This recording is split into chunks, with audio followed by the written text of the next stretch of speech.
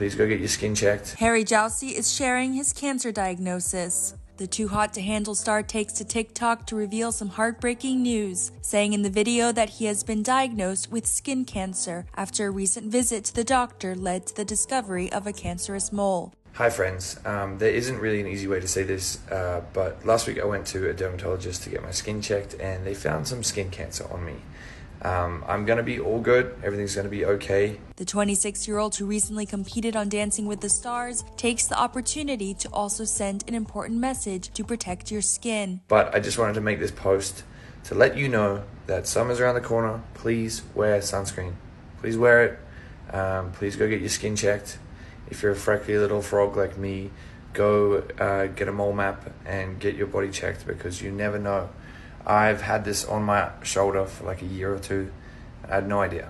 So um, I just want to save and protect one of you guys out there. So go get your skin checked, wear your sunscreen, um, and be a little bit more responsible because that's what I got to do now, and it's very scary.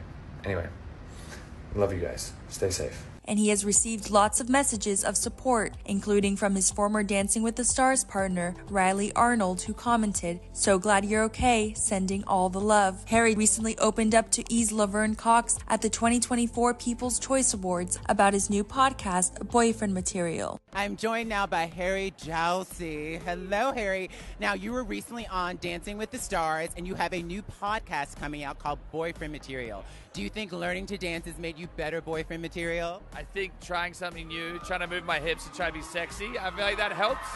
But I don't know. We're, we're going to find out.